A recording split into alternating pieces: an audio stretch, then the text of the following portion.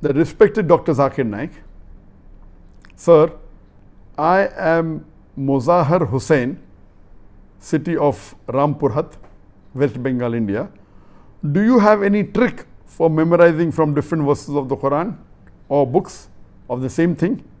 A similar question asked by Brother Fahim from Kashmir, from Pakistan.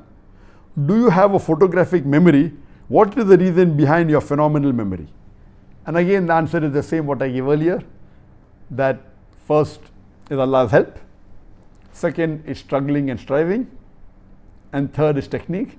There are various techniques for memory which you get when you do MBA courses, which is called as mapping and all the others. And believe me, all these techniques have got limitations. The best is help of Allah.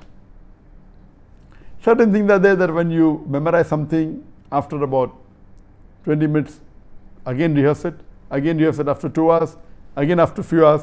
The more you rehearse it and revise it, the more chance it will be part of you.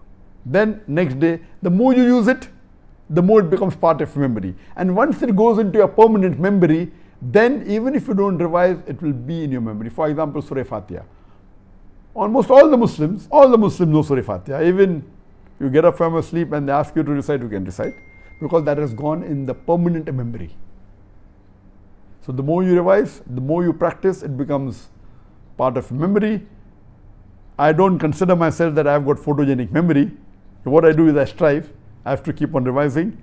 I know that if this lecture has about 100, 150 quotations from Quran and Hadith, if I don't revise, maybe I may say 90%. If I revise, I may be able to say 99%. So before every lecture, I try and revise as much as possible so that it is closer to the accuracy. So more you strive, the more you struggle, the more you have faith in Allah subhanahu wa ta'ala, inshallah you'll be more successful.